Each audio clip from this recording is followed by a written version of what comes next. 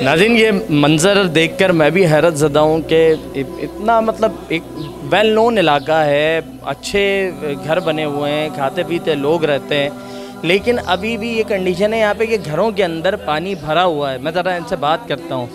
दो दिन पहले आते हैं तो आज थोड़ा जमादार आया है क्या पीछे से खुला है? नहीं तो ये सारे कमरों में वापस जा रहे थे और खून का पानी सारे जानवरों ये ये ये बारिश का पानी है आंटी या ये गटर लाइन। गटर की लाइन चौक है तो ये उबल के अंदर आ जाता है। हाँ सारा उबल के अंदर आ जाता है। तो ये अभी पहली मरतबा हुआ या होता रहता है? होता रहता है। कब से हो रहा है?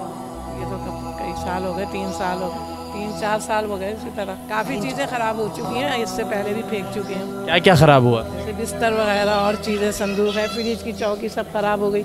अब ये क्या कहते हैं ये तो अब आप आते परसों ये कल तो हशर देखते हैं हमारे घर का इससे भी ज़्यादा था। इतना इतना पानी था फ़ोन का क्या तो कमरों में जा रहा था वो सारा पानी। और इस मौके पे कोई रिश्तेदार आ जाए कोई मेहमान आ जाए तो उसको तो घर के अंदर तक नहीं ले जा सकते। नहीं ले जा सकते वापस जा रहे सब यहीं से दे दे के पूछ रहे कोई नहीं आ सका। कोई अंदर नहीं आ सका।